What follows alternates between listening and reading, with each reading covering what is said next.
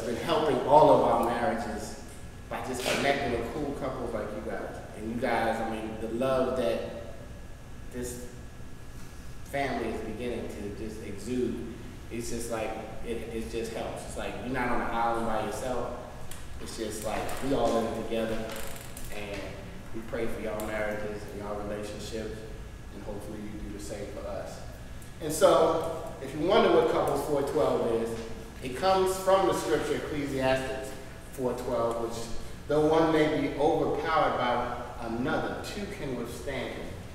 A threefold cord is not quickly broken. So basically, for the illustration, who would like to play God today? We'll let you play God.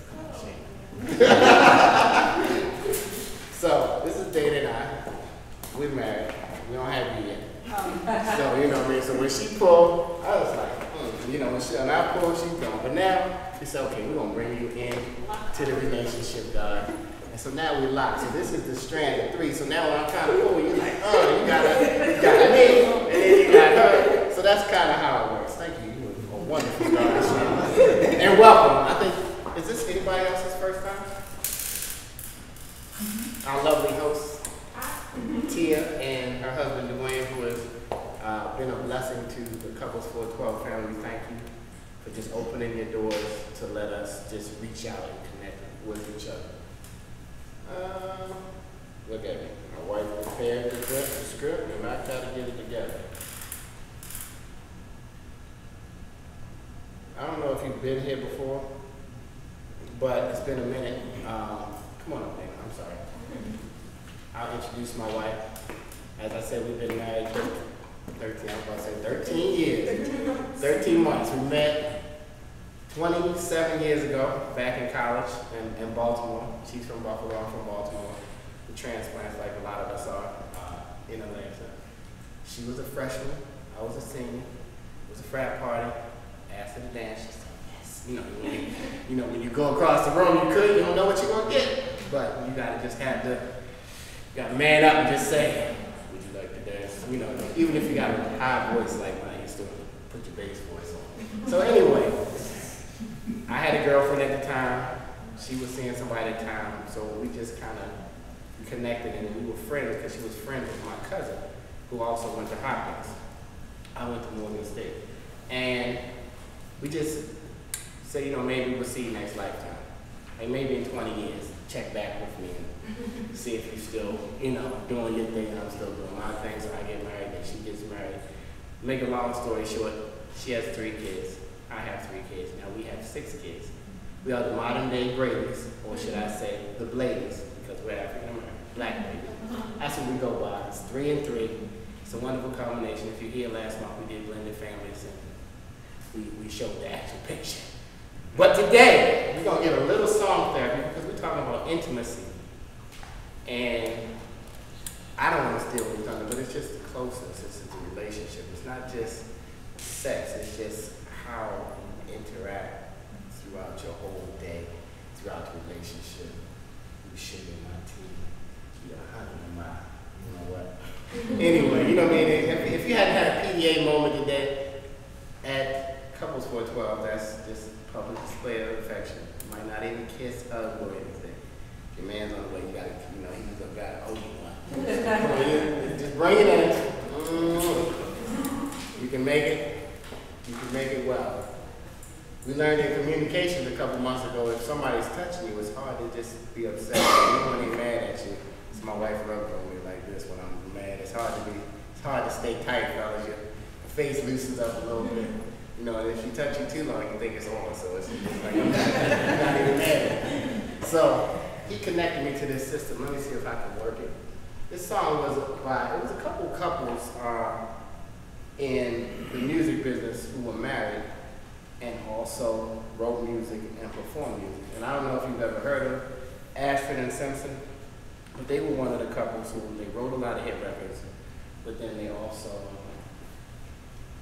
They were promised. And they were married for thirty-seven years before Nick died. Yeah, I think he died uh, of throat cancer. if it were. And so, I don't know if you remember this record. If you don't, maybe it'll come back to you. Hope I'm working this. I just downloaded this app. And now I can't play it. All right, we'll keep going. I will have Q sing, but you know, oh, wait a minute. He's over there. Be ready. I said, do you know this record? So, I might be dating myself for some of you young, you, you young men here.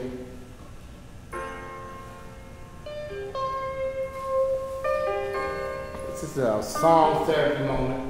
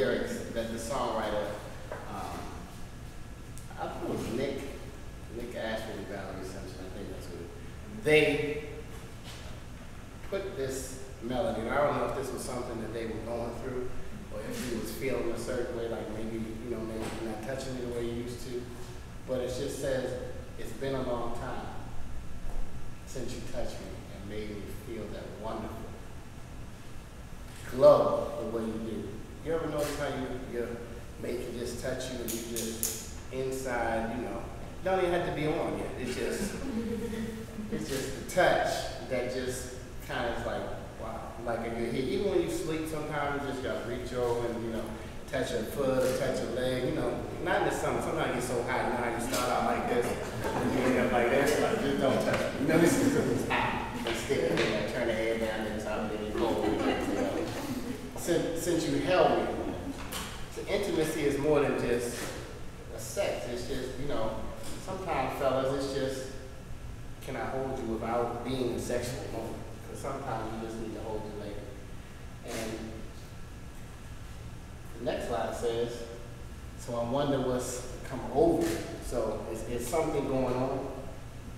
Is it something that um, is changing in our relationship? Are we starting to lose the intimate moments that we used to have? And so, I mean, he pretty much poses the question, as the name of the song, is it still good to you? So the title of the song is actually a question. Because if your wife or your husband is supposed to be the number one person, like when you once you're married, and we got some folks who who think about they getting all the wisdom right here. They coming early and finding out. I'm, I'm glad to see you guys back again. Um, that's it. It's like she is it for for me, and I'm it for her. Prayerfully, that's how you want it to be. You know what I'm saying? And in a certain situation, it can be like, well, is it still good to you? Now, I don't know if something happened, that made him think like that, or if he noticed uh, some kind of vibe, or when they were making love, it wasn't really like maybe she wasn't all the way there. Maybe, you know what I mean? So he asked the question. He said, "I don't know" there. I don't know if I ought to bring it if I ought to bring it up, because you know sometimes fellas, things could be bothering us, and we're like, well, should I bring it up, or should I just like mm, let it go? You know what I'm saying? He said, I don't know if I ought to bring it up. Seems like such a funny thing to talk about, because it's like, what are you really saying here? Are you saying it's good to me? It's not good. Do you not enjoy yourself? You know, but it's we're talking about intimacy here, so it's more than a sexual experience. Remember when uh, Stephen was talking about communication, he was saying, we can be intimate with each other physically, but why can't we talk about it? trying to say. Well, it says, it seems like it's such a funny thing to talk about, but you should be able to talk about it. Right. Like, like what you like, what you don't like. You know, how the experience can be enhanced, um, without being like, man, I really like it this way. How do I tell them? You know, yeah, send, send a picture, you know, you know, send a text, this is how I really like it. Um, don't know if it's right to do, nowhere to turn to. Said, I'm up against the wall. So he's got to be at a certain place that's really frustrating for him to pose that question even to himself and then wondering if he could go ahead far enough to share with her. And then basically, he just wants to know. At the end of the day, when it's only your one person, you want to know, is it still good to yell? it ain't even you yelling. We just, you know, we entwine. It doesn't feel all right. You know what I mean? Because maybe it's some kind of emotional connect happening with the physical and that that's making them think that it's not right. You know what I mean?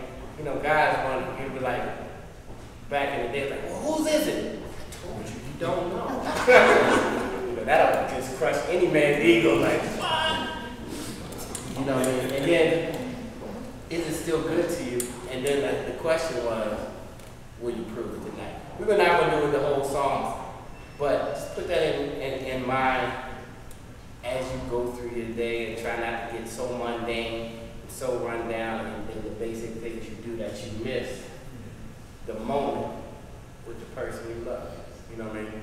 By just not taking a moment to pay attention in an intimate situation. Well, that's song therapy for tonight. I'm not going to belabor it. You know, as African Americans, we don't like to go to therapy, but we love to come to song therapy. 'Cause we just live through them, you know, vicariously. So, I co-host the Parkers. We're going to bring them up. A moment with the Parkers. I think that's nice. Okay. And here they are, ladies and gentlemen. You know, I'll just let Q start talking first. They got something big, like, You got, you got. we do an outing, I'll let them talk about it, but if you ain't got your tickets, you know, it's gonna be fun. Oh, okay, so, no, no, you go ahead, baby, go ahead. Let's have some fun. Okay, what I want. Okay, do it one more time. Right. Yeah, so, Okay, so I know we're talking about intimacy here today, and for me, I was just over here discussing it with Stephen, because when Kevin was over here talking, I was like, oh my goodness, this about as inappropriate. But this is an icebreaker from the Parkers, and I just want to share some, after being married for, it'll be, Hold on. Tomorrow is our 14th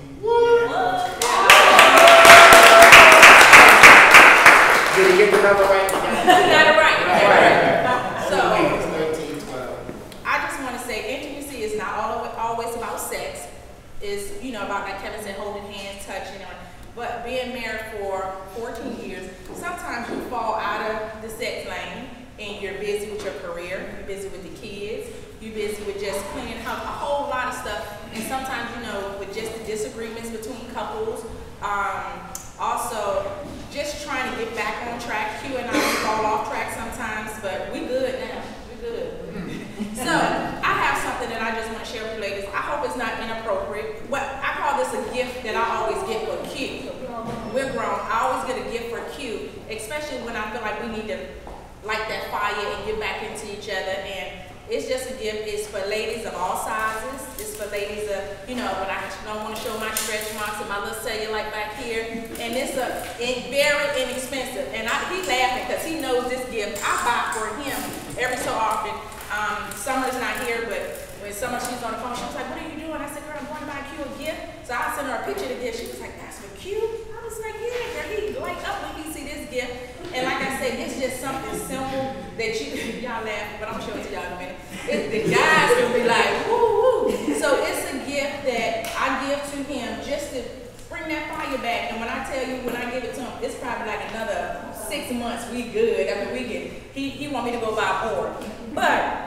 Like I said, I kept the price on here to show you ladies the inexpensive gift, all sizes.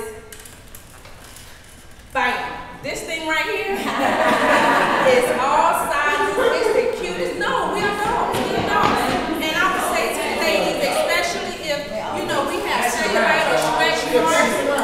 It's new things, So it's, it's for stretch marks. It's a, and please don't be ashamed. Don't be ashamed to say if you like it or you don't like it. Let me tell you, it's one size fit all. And when I walk and have that thing on, let me tell you something. I feel like a million bucks for my husband. I feel like I'm Beyonce, J, J Lo, everybody mixed in one. And it's just real simple. It's cheap. It's, girl, take a picture of it, get some. But no, for real. So this is an icebreaker to let you know. Um, buy things for your husband that you know. I tell it's for cute. When, like I say, when he, when that when I put that on, he's I can ask him for anything. I can ask him for his whole check, his whole bank account. He'll give it to me right now. Okay. So Q, you want to add something? Ladies, I advise this once, and they come in different designs, different everything. Yeah. Uh, yeah, I mean, Are you everything. available? Absolutely not. Okay. Uh, yeah, everything she said, I mean, it's just, it's just spot on. But I think it's just healthy to, to do these little things because, I mean, like I said, we, we all get so caught up into the hustle and bustle. We have children, and I mean, the one thing that should be the most important becomes the least important at times. And it's good to just kind of spice the things up. Um, she's right. When she does bring me this gift, it is it's absolutely amazing. Um, but um, I would like to say we, we forgot to do our. We just say do five compliments to your to your to your to your to your mate, your spouse, because again, we get so caught up in the things, and we may not have even complimented our wife today or our husband today. And I know uh, I can speak for myself. I love to hear when my wife give me a pat on the back or tell me that she appreciates me or that she supports me or she's happy that I'm able to do whatever and, I can return that. So it, it may seem small, but it just goes so far. So right now, just look turn to your turn to your spouse or your or your mate and just kind of express like five compliments uh, to each other. Real quick, you have three minutes. Go.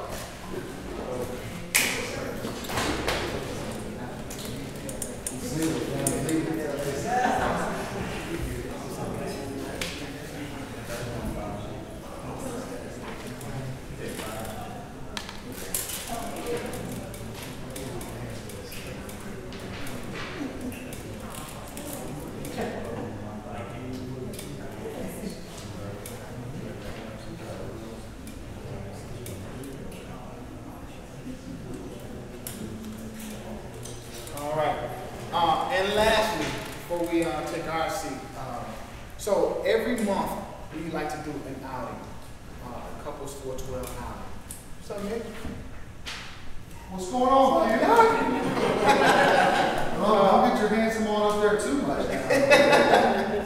So every month we like to do an outing, and this month, um, this is our, the second annual A Night with My Lady. And uh, Charlene and I um, created this just as an opportunity to just, again, step aside, step away from the hustle and bustle, and just have a date night.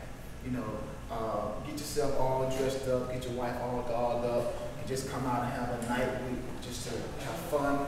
We laugh. We um, we uh, we eat.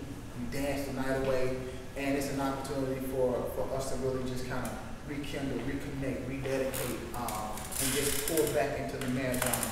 Uh, the vision initially was to just have a room full of couples loving on each other, just loving on each other, hugging, holding hands, just really just escaping everything outside of where we are. So Uh, it's called A Night with My Lady. It's August 18th.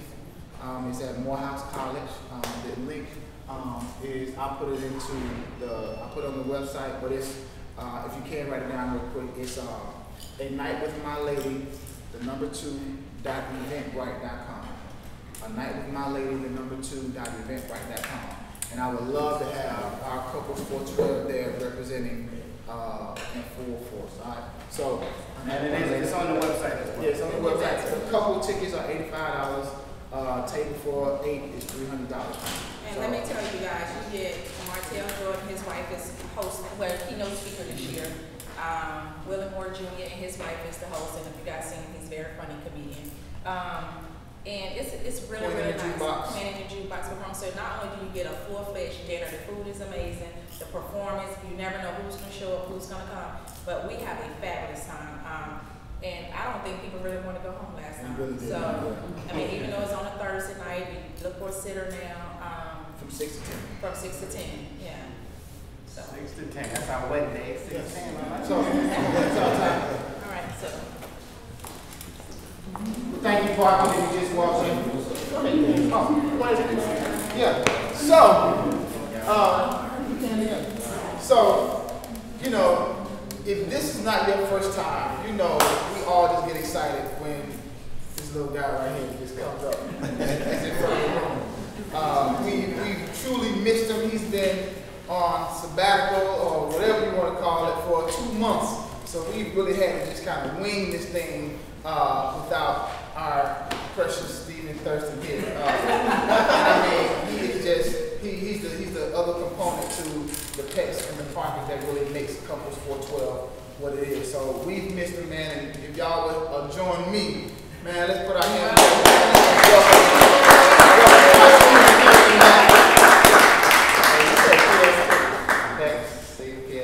Oh, dope, dope, dope, dope. Welcome back, Doc. Thank you, sir. Thank you, sir. How's everybody? Pets, the Parkers, we kind of set the stage tonight. That song, song title, and you know what y'all brought to the table, really directly kind of tie into what we're gonna talk about for the next few minutes tonight. And ladies, please, I hope you wrote down the website, the store, where they get it from, Sean? you know what, I'm gonna be honest, ain't store, no hair store. Girl, we gonna get our hair from. In those stores, yeah. All right, so we're gonna try to let you get out in time tonight, so you can run through and grab your new outfit, so you can be a blessing tonight. Hopefully something that I will share will further encourage you to go ahead and get your freak on tonight, all right? And so as we talked about this piece of enhancing and protecting our sex life, uh, from the outset, uh, for most people, passion at its highest uh, height resembles something kind of like the birth of a fire on a piece of dry wood. Um, there's a fury of hot flame, crackling flame, it's leaping high, and the start of this fire can be magnificent if you've ever seen one. But understand that it's the long burning coals and embers that sustain the promise of heat for fires to come in the future. And so all of that is said to say that probably at the beginning of your relationship, it was steaming, it was hot, very passionate. You was trying to get it on as much as you could. but you've gotten older, life has hit you, kids have probably come through the way, setbacks, heartaches, disappointments in life, you're not where you really want to be, money's gotten funny, various things have come into your life, and it may not be what it used to be. But those embers, if you can still hold on to those and those coals, can reignite that flame. If you've ever seen a fire kind of die out, as long as that coal still got a little bit left in it, you can re-spark that fire all over again. And hopefully tonight, our sharing together, if you found yourself kind of in that dull and that dry space, we can reignite some of that flame for your relationship tonight. So life will happen, these various things will come up, and it'll push sex and your sexual desires to the back burner. Um, it's not important to you anymore. You don't really make time for it. Romance isn't part of your equation anymore, and you've lost that aspect of your relationship. And there are three kind of common causes that'll lead us to that place where intimacy, where your sex life isn't as important as it used to be. Those three things are number one, couples don't distinguish between sensuality and sexuality. And there's a key difference between the two. Couples often don't distinguish bet- between sensuality and sexuality. And actually, there's some studies that have shown that in the United States, among married couples, sex is kind of like on the downturn. Um, some of the studies have suggested that in your 30s, about twice a week. When you hit your 40s, maybe once a week. After that, who knows when it's going to go down. so hopefully you all don't fit into those statistics and then those numbers. If you do, we're going to try to get you back on the uptick tonight. So uh, we have some smiling faces. But the reason why that happens is again, number one, couples don't distinguish between sensuality and sexuality.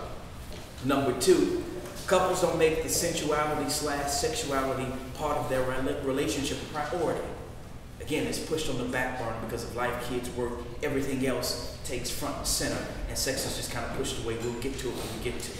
And then number three, couples let romance slide away. So those are the three common causes why we see this decline in sexual activity and intimacy within the course of our relationship. Again, we don't distinguish between sensuality and sexuality. We don't make the sensuality, sexuality part of the relationship a priority. And then number three, couples let romance slide away. And so again, tonight we want to address these issues. We want to talk about it a little bit so that you can have an open, honest conversation about it. For those who've never seen me before, I'm very real, raw, relevant. I'm probably gonna say some stuff that your pastor don't say, and y'all gonna be all right with it because you're gonna grow from it. So let's number one look at this piece of sensuality versus sexuality. All of us in here grown, and so we know what sexuality is. We know that that's dealing directly with having sex, involving sex. But many of us miss the mark when it comes down to focusing on sensuality. And sensuality is the gratification of the senses. That's where we gotta hit the mark we can focus more on sensuality versus sexuality, you'll find a rekindling of the flame in that relationship. Uh, sensual experiences are ways of connecting in the moment. Sensual experiences are ways of connecting in the moment.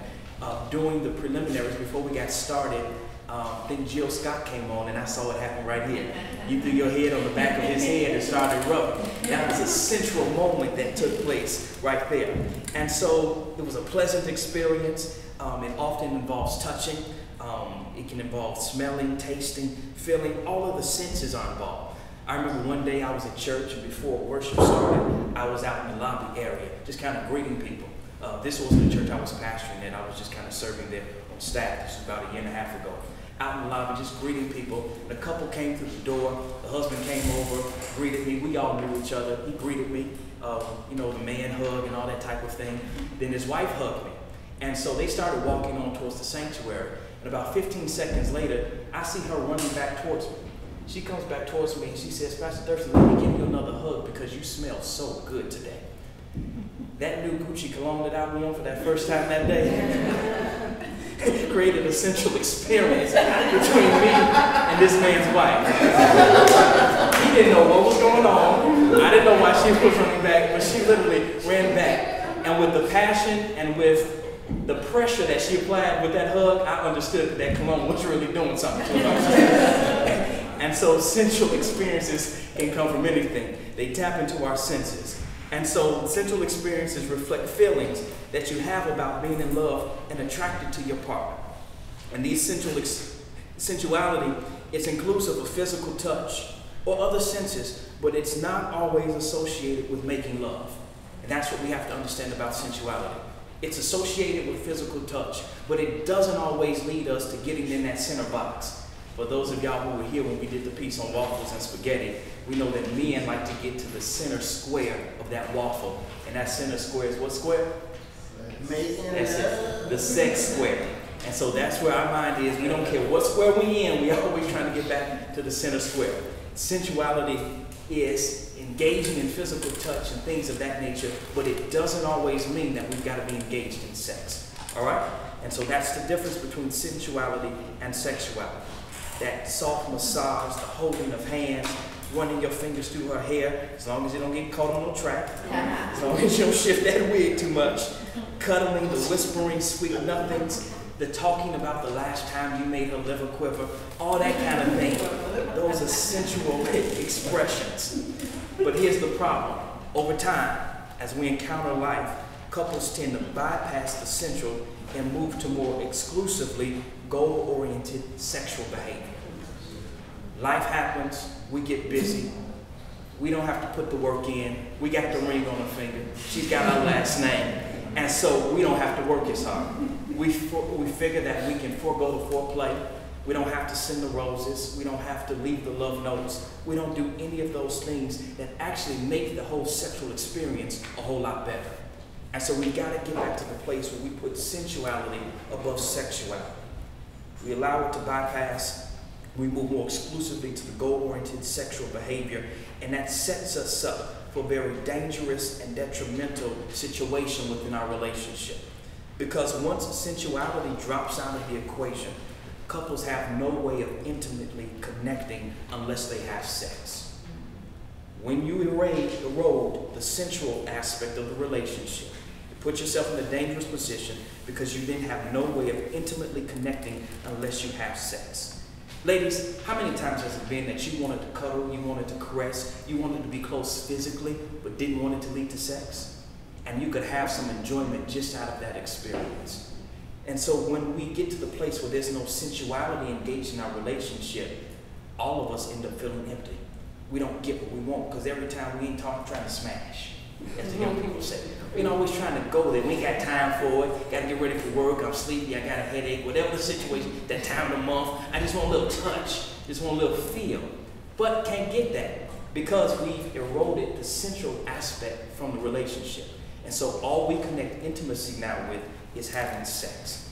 And that's a dangerous position to have your relationship in. Why is it dangerous? Because what happens as you matriculate through life and it don't work no more? Where's the relationship gonna be? When Cialis nor Viagra will get you to the place that you need to be. What's left in the relationship?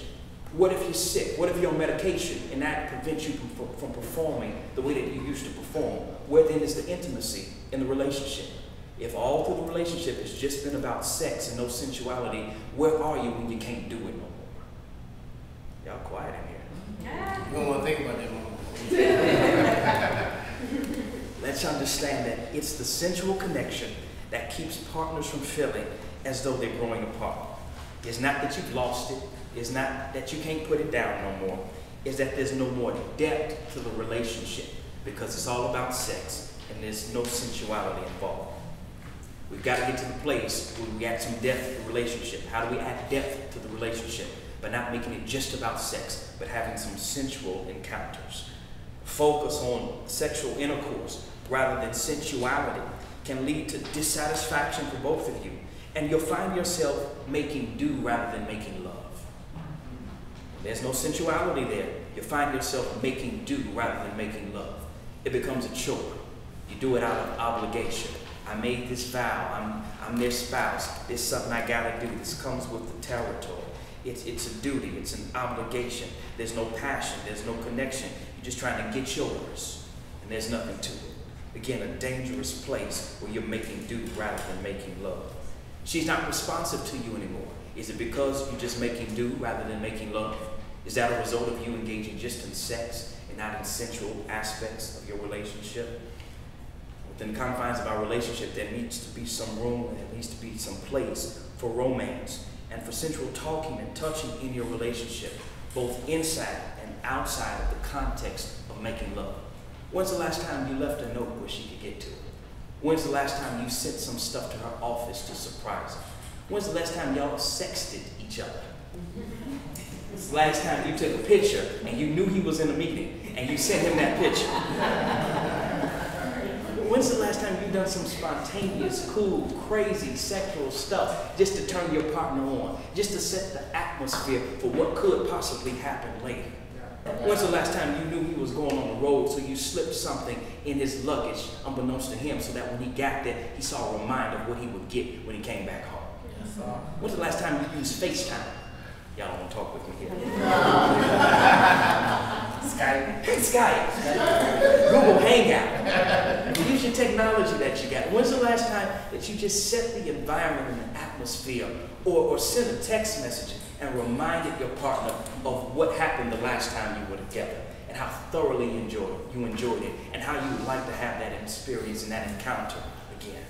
It has to be the place for romance and for sensual talking and touching in your relationship, again, both in and outside of the context of making love.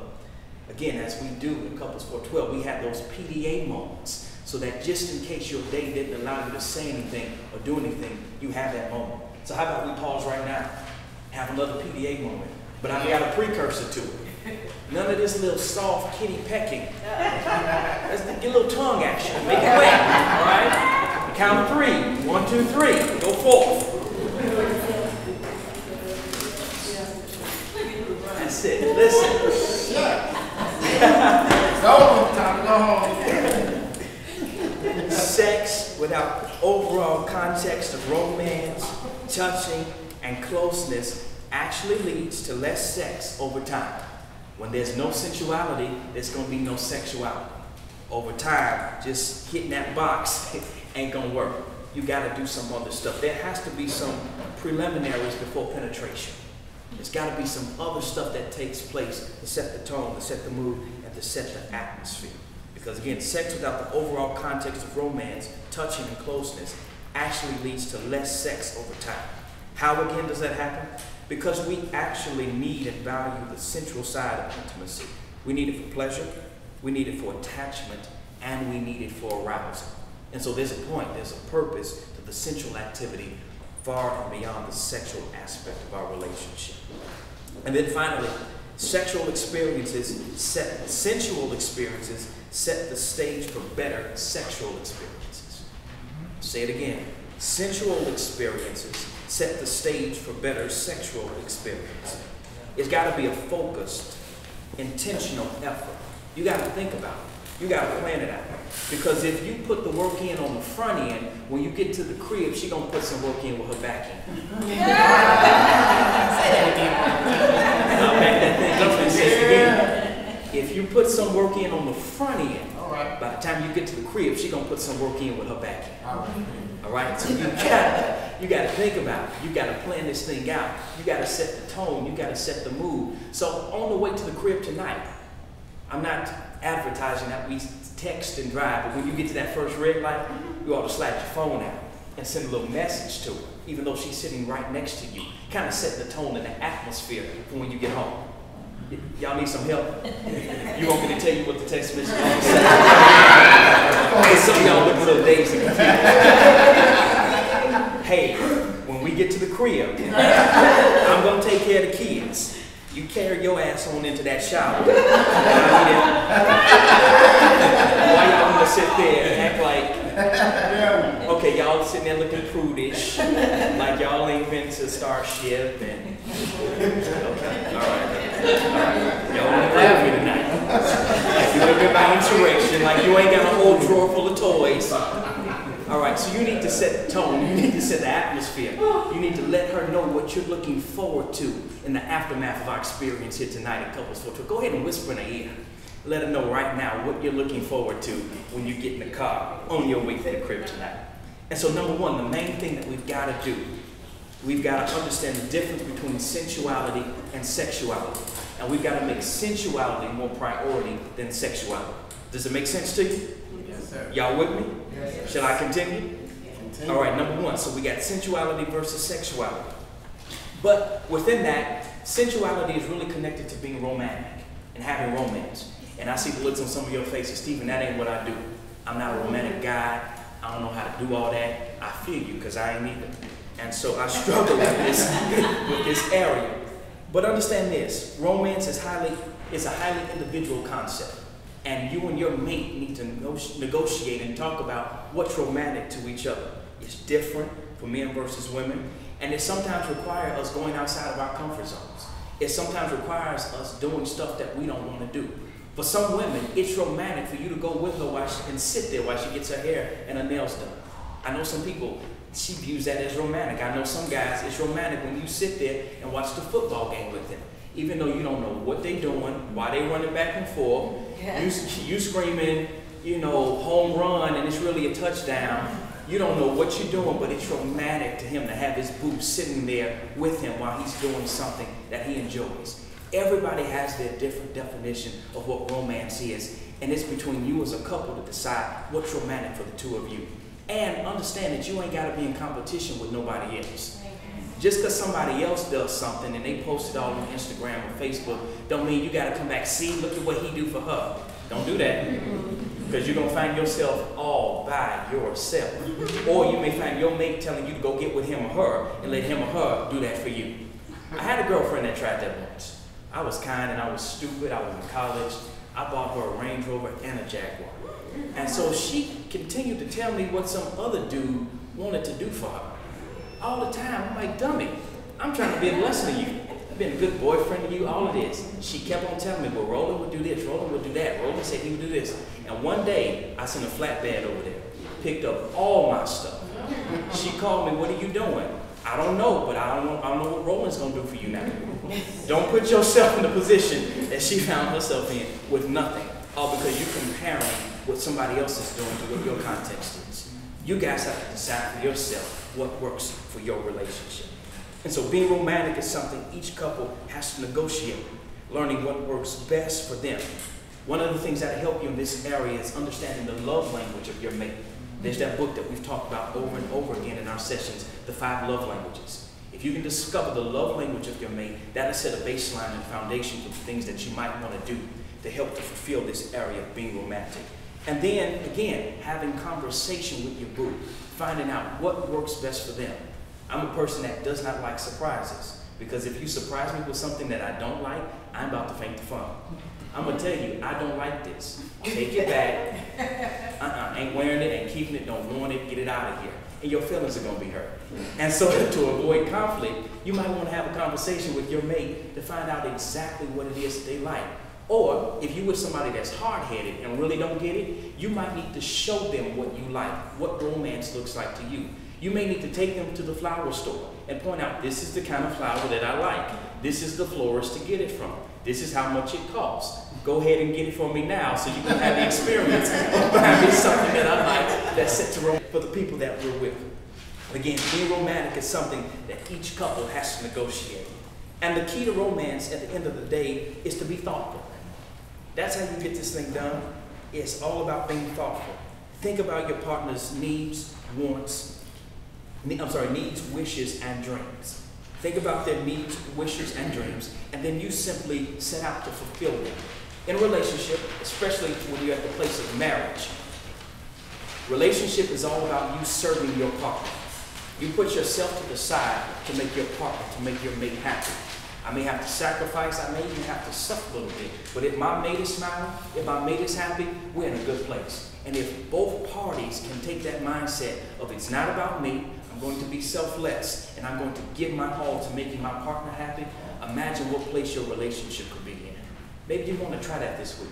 Put you all the way to the side and do everything that makes your partner happy. And your partner does the same thing towards you.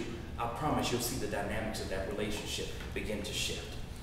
Romance takes communication so that both parties are clear and both parties get credit for their actions. Because there's nothing worse than you trying to do something romantic. You done planned it out, you done plotted it out, you done ran it by a few people. They think it's a great idea. You do it for your partner, and your partner totally misses it. They don't see your efforts, they don't see your energies. They just look at it like, oh, okay. And you don't get the response that you were looking for. Nothing worse can happen, especially to a guy, when we try to go all out mm-hmm. and she like, oh, okay. Because it's not something that she wanted, nor is it something that she felt was romantic. I tried it one time. I ain't talking just to be talking, I'm telling y'all that I've experienced. Mm-hmm. Had a girlfriend, she went out of town, so I said, hey, I'm gonna do something special for her. She had eight closets in her home, and it wasn't a little closet, eight big closets packed with clothes. So I said, while she's gone, I'm gonna redo her closet, reorganize her closet. I took all her clothes out.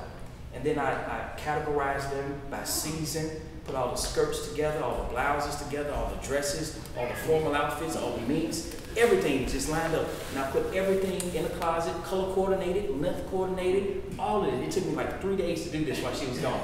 I did all eight closets, got all the purses stacked up in order, all the shoes stacked up in order, color coordinated, this ombre kind of look. It was bad. She comes back to the crib, and so I'm like, you should go ahead and unpack your bag. No, I'm trying to just say something so that she can go into the closets and start putting stuff back. She's like, no, I'll unpack later. So I'm, no, no, you should really unpack now. Go ahead. She wouldn't do it. Three, four days go by, she ain't said nothing about the closets. So I go by her crib, and she's like, you know, Stephen, I've been looking for this, this skirt. I can't find it. In her mind, she couldn't find it because she had so many clothes. And I finally had to say, Bonita, didn't you recognize that I redid all of your closets? Oh, you did? Ma'am. Three days it took me to do all this. And all I get is, oh, you did? Three or four days later? Listen, you need that conversation. You don't want to be like I was. I was pitched. You don't want to be in that place. So have that conversation so that it's clear that you're being romantic and you get credit for the actions that you've taken. Does it make sense? Yes. All right, so we've got to put sensuality over sexuality. Sensuality then ties into being romantic, and so we've got to engage this art of romance. And then it doesn't matter how romantic you are, how many acts of sensuality you engage in, the one thing that will consistently kill romance in a relationship is conflict and tension.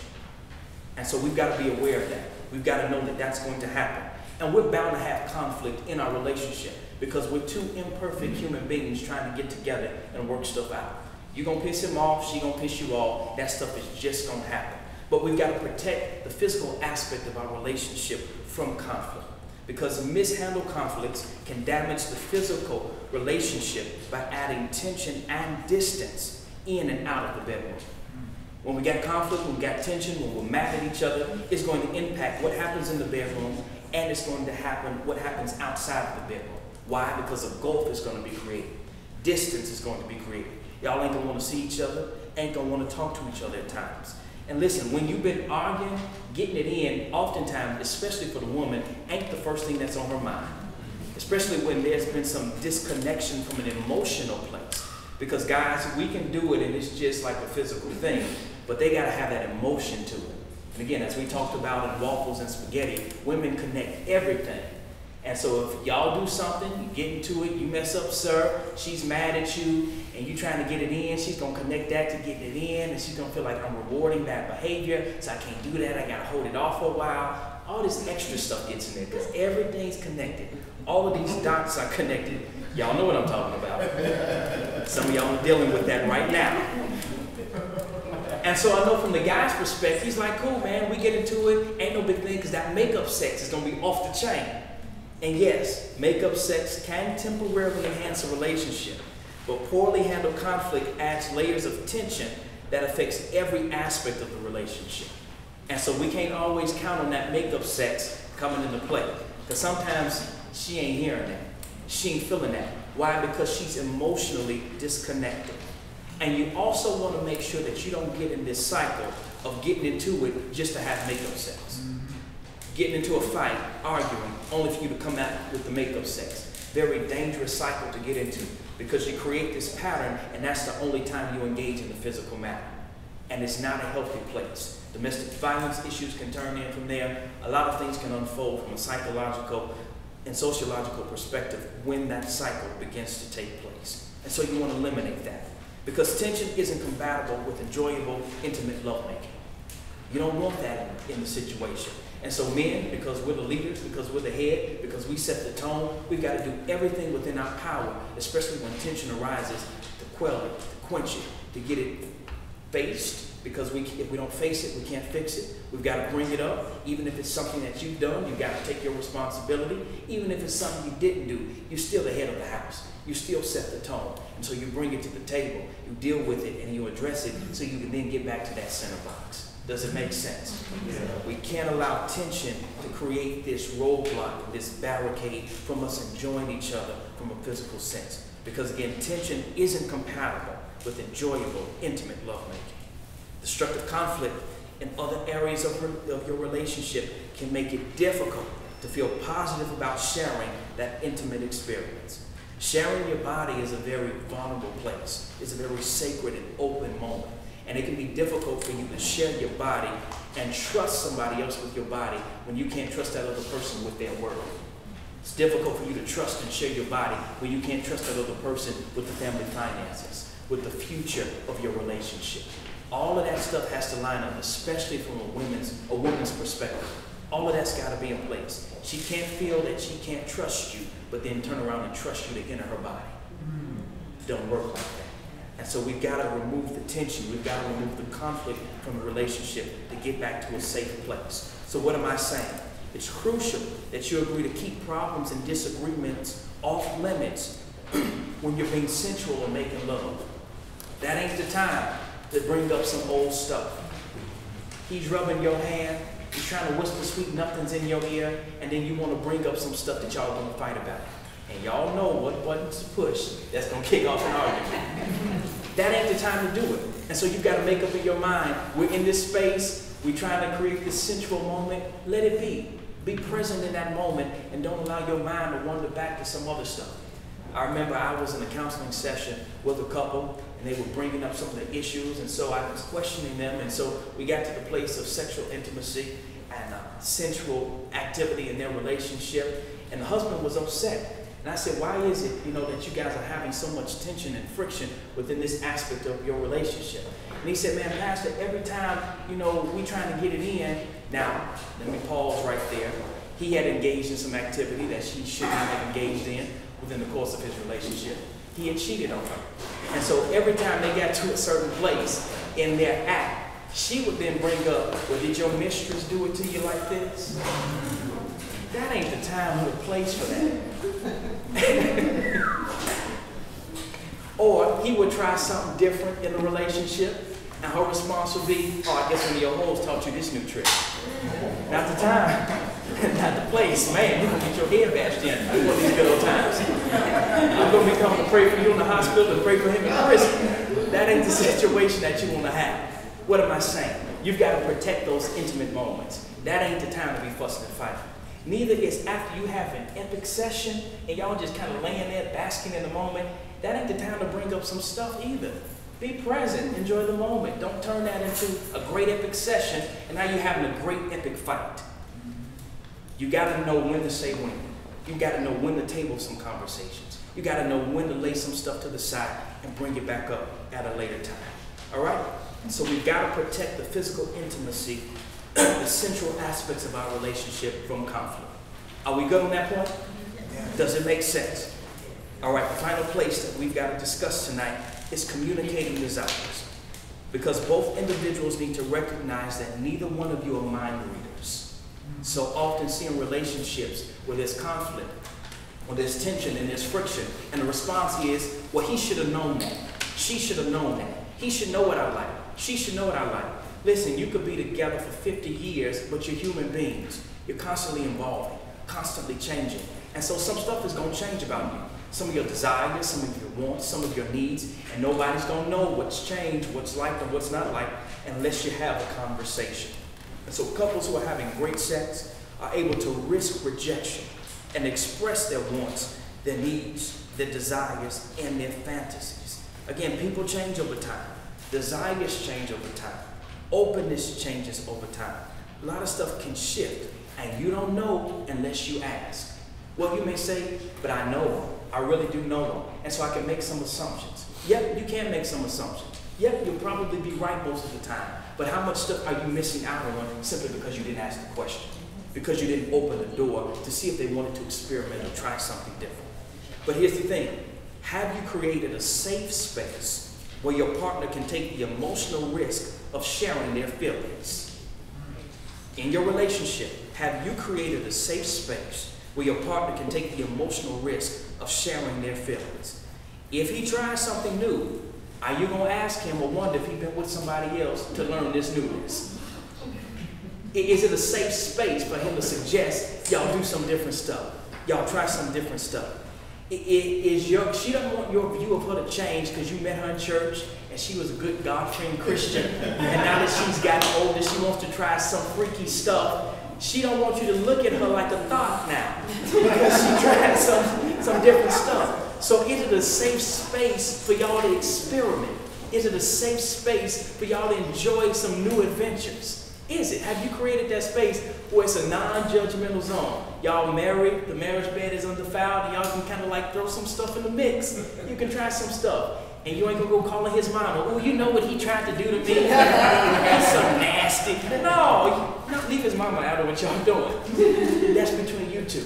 And so is it a safe space in your relationship for you to engage, for you to share, for you to try, for you to bring up and ask some questions? Listen, it's critical that you communicate about your physical relationship in ways that enhance and protect this important way of being. You gotta ask some questions. What do you like? What do you want to try? What do you want to experiment with? Can I do anything different? Can I give you more of something? Can I give you less of something? You know, you, you got to try some stuff. Can you agree that you're just going to experiment and surprise each other? You take Thursday night, I take Friday night. Don't ask no questions. We just going to try it. We don't like it, we ain't going to never do it no more. Nobody has to know about it but us. I agree to have those kind of situations and settings. All right? You may come in the room and it's a whole bunch of stuff spread across the bed. And in your mind, what am I supposed to do with this? Where's that supposed to go? You want that in? Hey, if you don't like it, you ain't got to try it. But at least be open to hearing what your partner has to say. All right? Everybody has a right to say no, but you never know. Somebody just might say yes. It might be a great night. just never know. All right? It's critical that you communicate about the physical relationship, again, in ways that enhance and protect this important way of being intimate. Because many couples have difficulty communicating about their physical relationship, again, those assumptions will take control. And you'll find yourself doing the same thing over and over again, not having all of your needs met, not feeling totally connected to your partner, all because nobody was open enough to share. Hey, I need more of this. Hey, I need you to be caring. I need you to set the stage. You know, I might be in a better mood if you put the kids away instead of me having to do cook, clean, do all this stuff, and then you want to smash when you get to the crib and you ain't done nothing. Try some stuff that's going to help your mate get to the place where you want your mate to be. All right? Yeah. Have those conversations. Don't just make the assumptions. Your, might, your mate might be ready to change and try some different things. How- excuse me, how do you go about this? By checking in with each other, by getting, having these conversations. You're checking in with each other concerning your desires and your expectations. It's, a, it's valuable for having great sensual and sexual relationship. Listen, this conversation could open the door to great brainstorming section, sessions. It could open the door to you sharing some websites that could open their mind and expose them to some stuff. It could set the stage for y'all watching some videos. You never know what talking can do and what having that open line of communication can get you that will bless and benefit your relationship and your marriage. Finally, you got to protect the sensual and sexual life. You got to nurture it, and above all, you've got to make it priority. If you don't put any attention, any effort towards this area of your life, those coals are going to die out. That flame is going to die out, and you never know what that might lead to happen in your relationship. Let's try to protect our relationships, our marriages, from getting to that place of being dead physically. Sensuality and sexuality are among the best sources of marital fun. This is a place where you can experiment, where you can go all out. Bring some fun back into the relationship by starting right here in the physical sense. And then finally, you don't have to fall out of love if you invest and you nourish your relationship on a daily basis. What are you doing daily that's going to grow and benefit you in an intimate way, in a physical way, in a sensual way, and in a sexual way? Couples 412, that's my time. Thank you for your time. Welcome back, Stephen. If you just jumped in, that is Pastor Stephen Thurston. I'm Kevin Peck, is my wife Dana. Hugh Parker and Charlinda. We started Couples 412, we just walked in, and we missed, we've missed our content provider and our pastor. He's not married, so as you know, he goes home and paint and tell everybody what's up, and he don't have to worry about it, what's gonna happen when he gets home. With us, on the other hand, so he, he mentioned a key thing, uh, I think it was Hebrews 13, which says the bed is undefiled. We kind of, well, we, at Couples 412, we, we know God was the orchestrator of marriage. So if it hadn't been working, maybe you just haven't put them in there, and that's why it's not working. So we decided to put him in there and follow what he was already, has set up as the blueprint for how marriage goes. So we come in here and connect. All of y'all look wonderful. Now, who's here for the first time? All right. Can you just stand up and introduce yourself? We got, a, a, a, big community, but everybody doesn't come once a month. Everybody, my name is Daryl. My wife, Sharon Evans. It's our first time coming. Um, It's a pleasure good to be with a group of people who are trying to, you know, put faith and love in the same place. You know, and so. It's good to have you, and that's all. How long have you been married? A year. How long have you known each other? Since fifth grade. They got us. We've been married a year, and we've known each other 27 years. Wow. That's not quite fifth grade, but yeah. We've known each other. Wow, coloring books and everything, huh? I was in fifth grade. Huh? I was in fifth. Oh, you were. Anybody else? First time? Hello, my name is Mose James, and this is my wife, Shakita James. Uh, I work in the closet up front, so I heard some great things going on, going on back here. We'll be married seven years in April. Uh, been together for. We will have been together for four, 14 15 years um, this December, and we have a two-year-old. Oh, that explains it. Sneaking intimacy at your house, huh? Two year old. Wow. We got six kids, but it's through marriage. Don't worry about that. We'll, we'll tell you about that next time. Anyway, the website is couples412.com. You can stay connected. The park has got a fabulous event coming up. Mark your calendars for August the 18th. This is like- we got technology going on. There we go. Um, but this is the part where we, you know, that we kind of like, you know, we up in the front of the room, but we just like, like you guys. You know what I mean? We working through marriage. We work through the same problems. We, we've learned about communication, the covenant. We learned about intimacy. We come here to learn and to share. You know what I mean? And to just, just feel the love and feed and give love to everybody here. So, to get started, who, who learned something new about intimacy this, this evening that you didn't know? Anybody? Come on. Who's the expert? Okay, okay. How, how can we make, fellas, I'm gonna start with fellas. How can we make uh, intimacy a priority uh, in our relationship? Anybody? It's really, to me, it's about How constructing. do you make intimacy more of a priority in your relationship?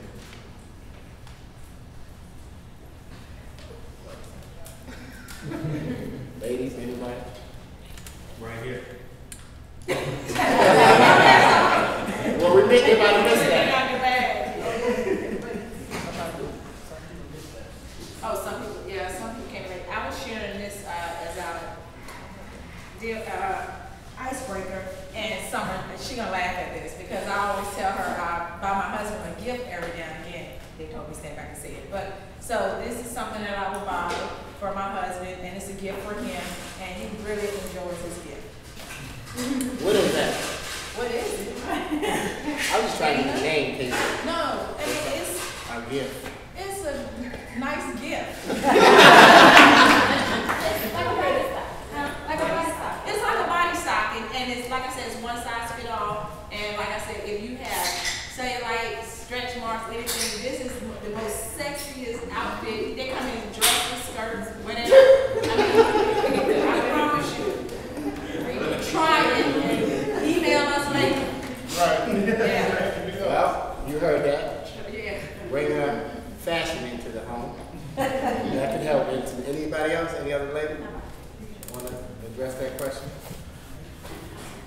I'll I'll ask the next question. How do you think your sex life will change through the years? Will it get better? But we spoke on that earlier, sometimes it just depends on what's going on in your life, so when you, when you first get exciting, you, you know, can't have enough each other. But let's just say your kids, um, uh, career, it can go down the drain. I mean, we've been married, like I say, fourteen years, and it wasn't always perfect, and sometimes I did not wanna have sex. You know, to be honest with you, and like you said, sometimes it felt like it was a chore. This one lady told me, she said, you just pray about it before you, you know, sometimes we're tired, exhausted, dealing with the kids, cleaning, school, work, just everything, you know, but, um, But tonight.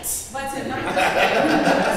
So, so I think, you know, if everybody in this room can be honest with themselves, I think it, it's like a roller coaster. Sometimes you're there, you're at the highest peak, and then sometimes it comes down. But you just gotta make sure you get it back up or just at a medium where you're satisfying your mate.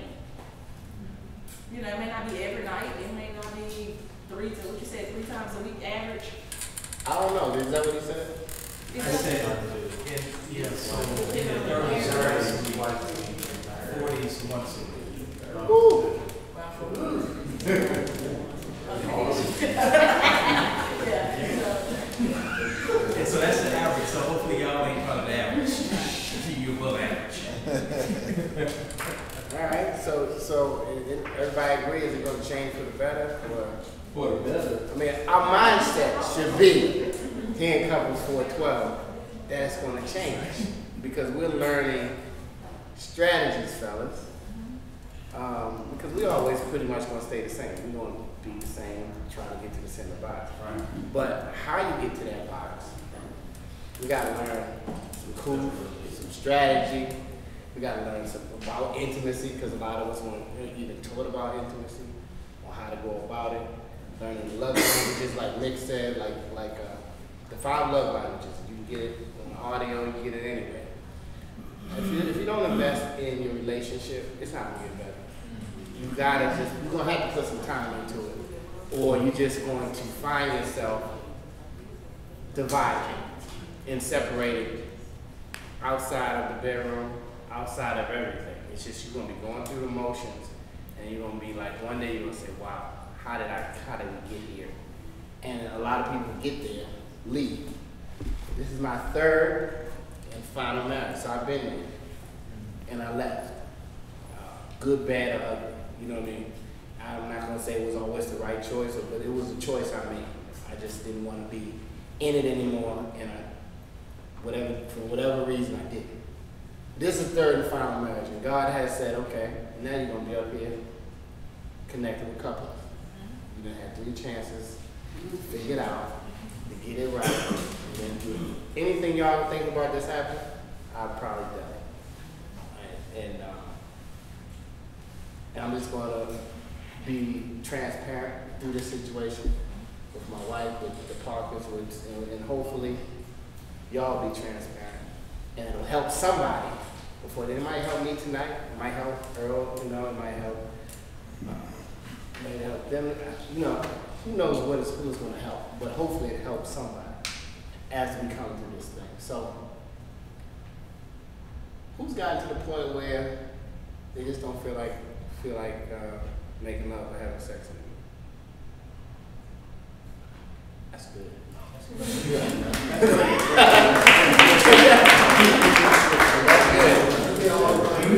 Is it, is it, is it, is it, have you put parameters on it? Are you only in one room? Have you, you have you only decided that these are my favorite two positions and that's it? Have you, have you moved to the place where that you can even talk about it, um, openly, uninhibitedly? Because, like I said before, when you first came in, this is it. You know what I'm saying? It ain't no going outside. It's like you gotta be everything. You know what I'm saying? I gotta be everything to you, and, and then that's when the intimacy comes in. You gotta figure out what each other like. You know, like Steven said, maybe we tried it once. How did you like? it? Uh, well, let's try it once, just in case. You know what I mean? You know, but you know, sometimes I think this is our third time. I think our averages are skewed. and I'll be saying sometimes like, I'm not gonna do it tonight. Nope. Before you know it, it's like, what? How did that happen again? You know, but it's just, she might just said something to me. And sometimes, I mean, I think we've gotten to a connective point that it doesn't even have to be much. She could just say a word sometimes, and like that did it. You know, like it's on, you know, put on the, you know, put on the, got, got kids, you gotta put the TV up. Dan lives with us too, so it's like, so, so, but you know, but, but honestly, I'm gonna stop. I'm gonna, since nobody's gonna talk, I'll tell y'all You know what, Kevin, I- and I feel you up there having a conversation when you have it by yourself, right? Because I know that sometimes this is uncomfortable for people to talk about, you know? Um, and it shouldn't be, because it's part of marriage, you know, and we can do this. because, you know, you married. Right. I mean, the Bible says the bed is under the file. That's just pretty much, and it pretty much it also states that you should be having sex as much as possible, unless for a consensual time of fasting and praying. Because when you stay connected all the time, it's no room for nobody else to whisper in your husband's ear, your wife's ear. And I heard something interesting today as we prepared for this month of intimacy. It's like a person will go to work, and every woman in work at work, she's dressed nice, hair done, everything to the T. But then when he got home, his wife never just took a moment just to, you know, when you when you dating, they look good all the time. When you marry them, not that they don't look good, but you know, it's just different levels of. We're Watching you know what I'm saying? It's that makeup, the makeup, the hair done, to the heels, to the whole thing, to the perfume. And if they're supposed to be your number one person, they have to, from time to time, that's why night with, with, with the lady, I'm, I'm looking forward to what my wife's gonna wear. You know what I mean? I'm looking forward to just dressing up and going out. So it's giving us something to look forward to. Even couples 412, we only meet once a month, but those who have come consistently or at least consistent, they we're intentional. We look forward to this time that we can connect with other like-minded couples where everybody else is trying to not make marriage cool and sex, all everything on TV. Here, it's like, yo, this is it. If you're not married, you know I mean? This is the real life, because that other life that you thought you had out there, relationship, relationship, this don't work, that don't work, it's, it's phony. You know what I mean? This is real. This is real as it gets. This is what God intended, and he's, He wants you to celebrate it. He wants you to just be like, you know, like boast this thing. It's like He loves us. Uh, he's like the bridegroom to us. He kind of shows us what marriage is. You know, it said, and it says like the husband love your wife like God loved the church. I used to always say in my old relationship that didn't work. I said, God must really love the church. But then when I look, when I look at myself, I would be like, how how do I act to God? You know what I'm saying? And then how does He always have His arms open to me? Even when I'm turning, I'm ducking, diving, I'm running backwards. Every time if I peek back over my shoulder to God, He's like this. And but in, in a relationship, you want to be conditioned, unconditioned, but your kids, they can do anything. They can throw their little brother down the steps, whatever, you know what I'm saying? You, and you back to love them after you got upset. But the, the mate, it's conditions on the love sometimes. And we got to move past those conditions because it's just all. What else did I hear today? It was like Satan's plan. It's what to get you mad. to Satan does everything he can to get you guys together when you're not married, and everything he can to separate you when you are married. Right.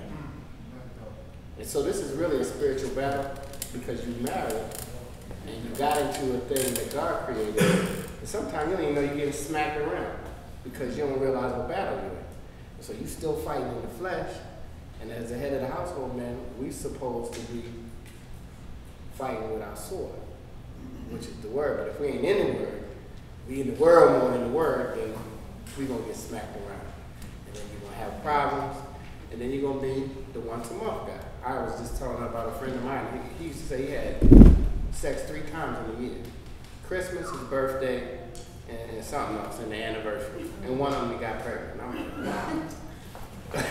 you know, it, you know, like why live like that? Why even live? Because you don't know.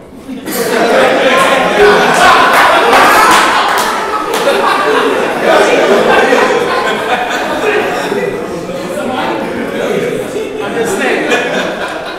Nobody knows. Nobody knows the next breath that they're gonna take.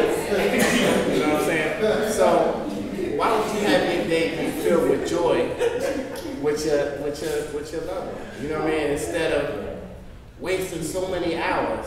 Somebody did the math. The average woman lives about I think 75, and the average man lives to about 70. If you take those those numbers in years and divide the hours, you'll see that your hours, if you just on average, they dwindling down of your life. How you gonna How are we going to deal with it? You know what I'm saying? And so God, the, the, the closest you can be with God is when you make love. Because that's when you are truly one. You know what I mean? And spiritually, one, but physically, when you guys connect, He made that to be a joyful experience. And it should be. And it has to be. Or, fellas, we're gonna go crazy. The wife might go crazy. You know what I mean? We just, we just, we just gonna be rocking the wrong way. Y'all wanna talk about something else? That was good.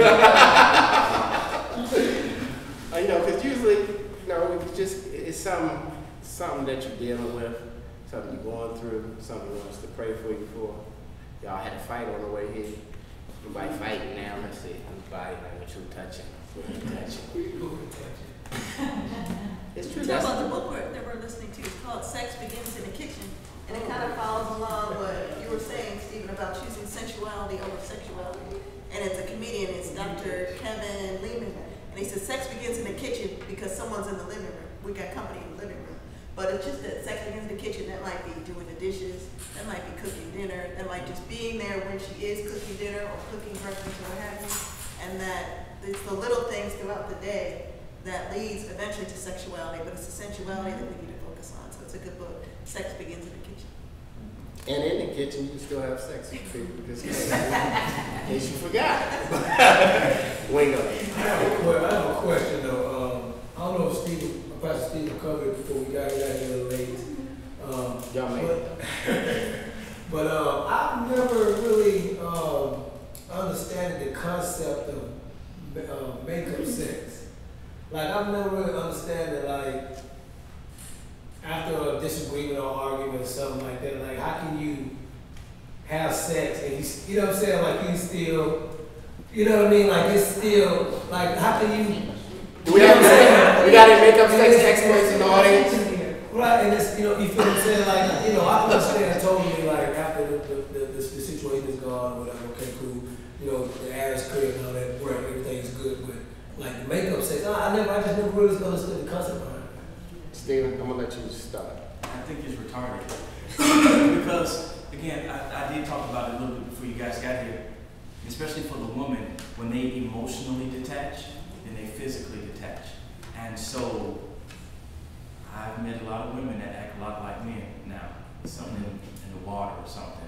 And they can just smash. And it's just straight. I'm doing this and I'm moving on to the next whatever.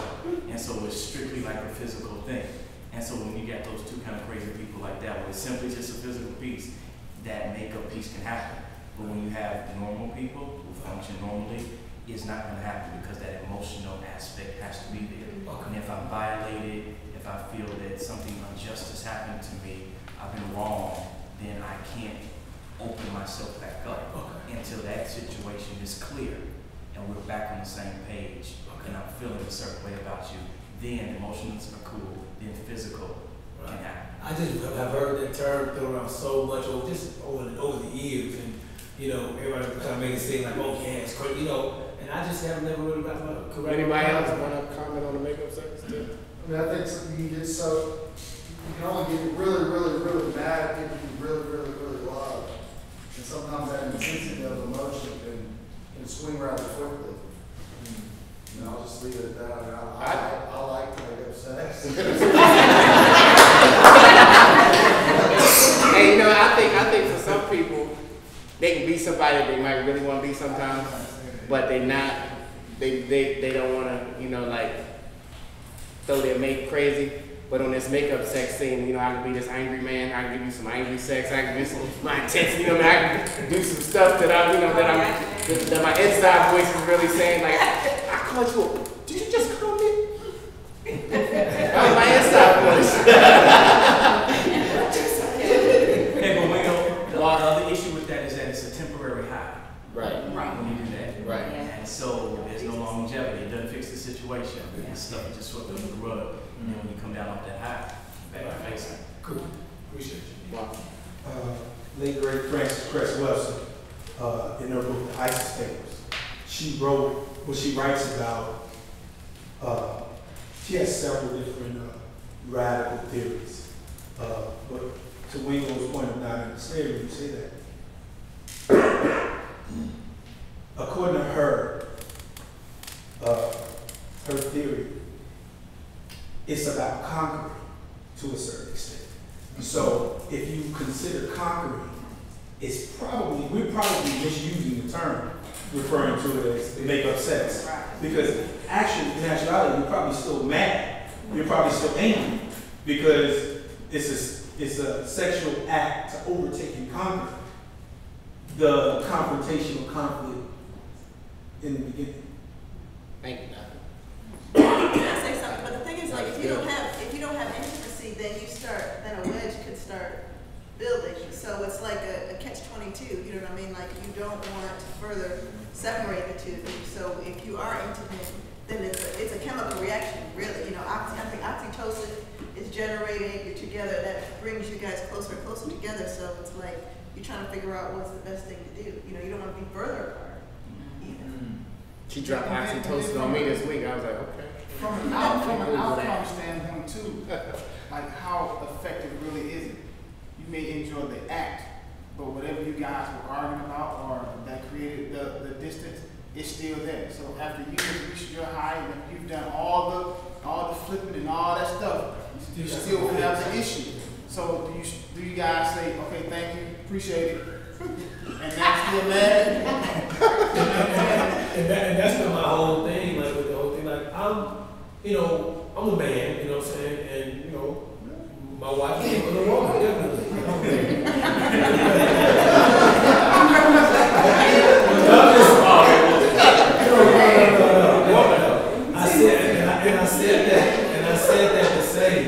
you know as well as, you know, I feel good having sex, you know, I'm making her feel good as well.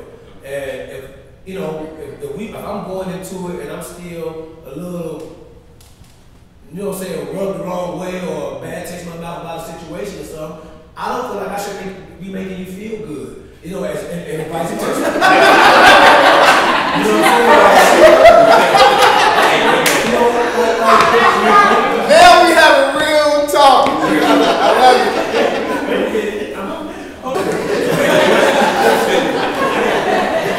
But, but the point is, that what you said about oxytocin, uh, is important Let's understand, let's understand oxytocin for, I, I'm gonna act like, all right.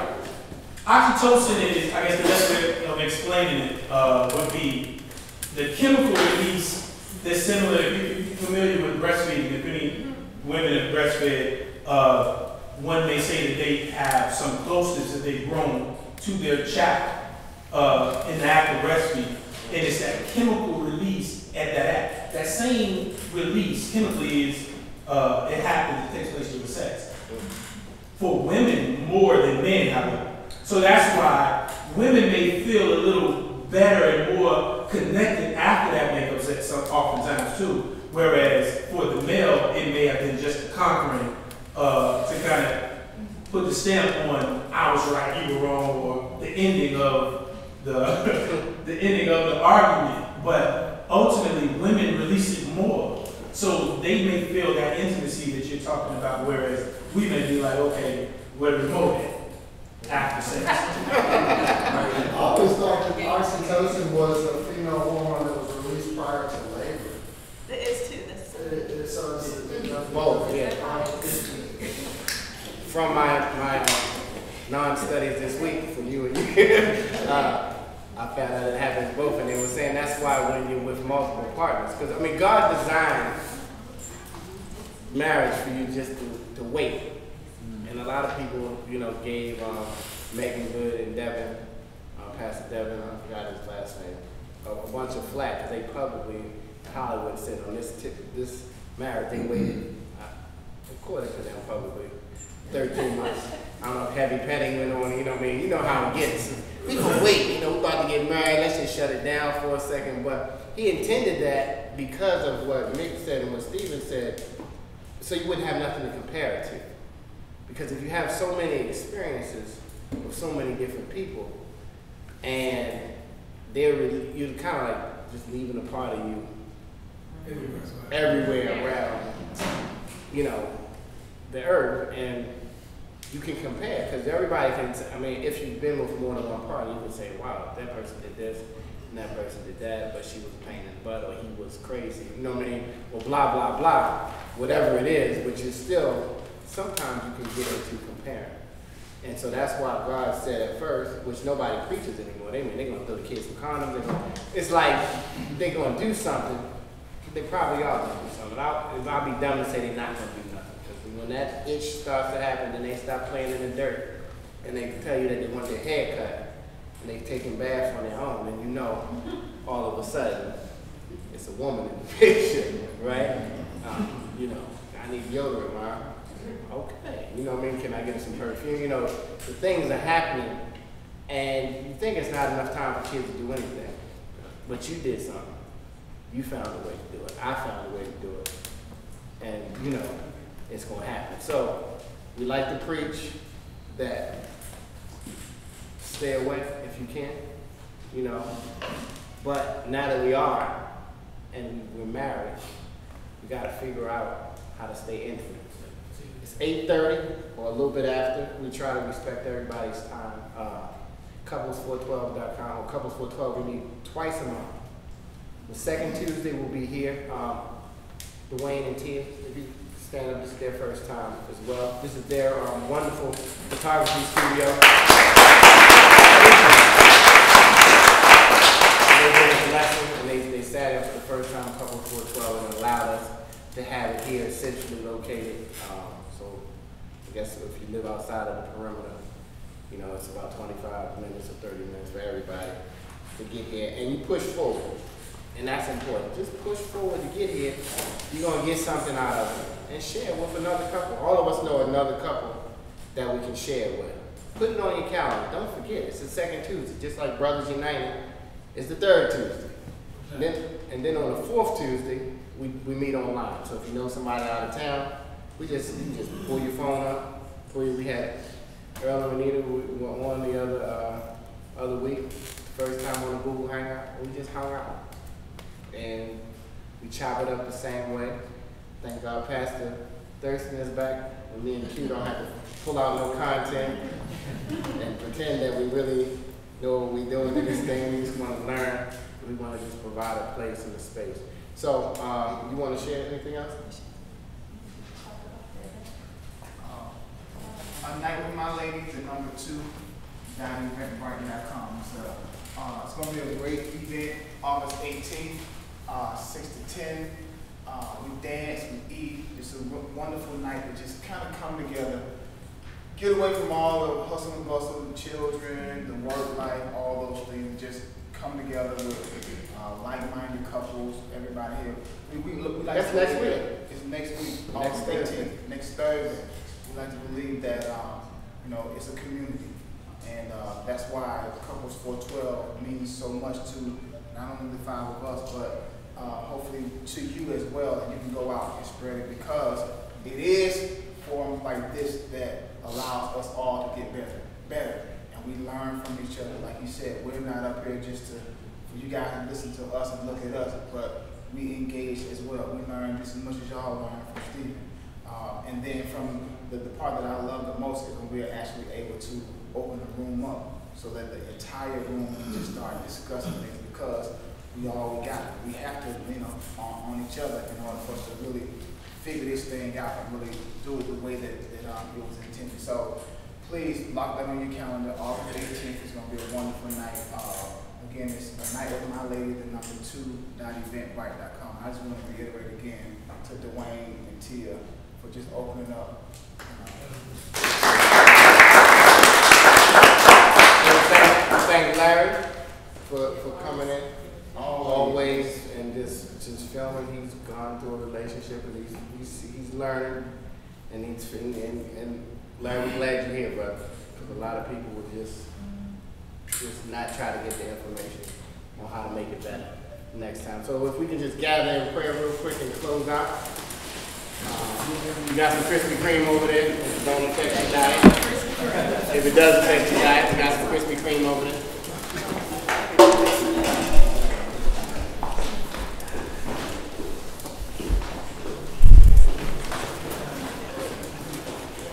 One last thing before we um, say the prayer, um, it just kind of came in my mind again um, when Stephen said um, to be selfless and that everything just kind of starts from there. If that's the mindset that we take into our everyday interaction with not only our, our spouse and our significant other, it helps us to be the people that we were um, at, at our best. Um, so that if the mindset is always put myself to the side and make sure he or she is happy, that right there to me is a great way to start any relationship. And if you can maintain that, you put yourself in position to be successful. Let's pray. God, we thank you for this day. We're mindful of your mercy and we're grateful for your grace. We thank you for everything that you've done in, with, and through our lives. We thank you for everyone who's gathered in this place on tonight. We thank you for the owners of this establishment for allowing them to open their doors to us on tonight. We thank you for everyone who pressed their way to get here tonight. And it's our desire that individuals will leave from this place different from the way in which they've come.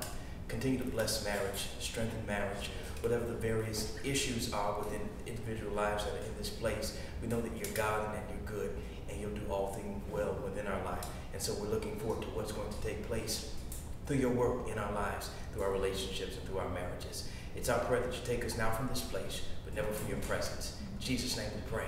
Amen. Amen. Amen.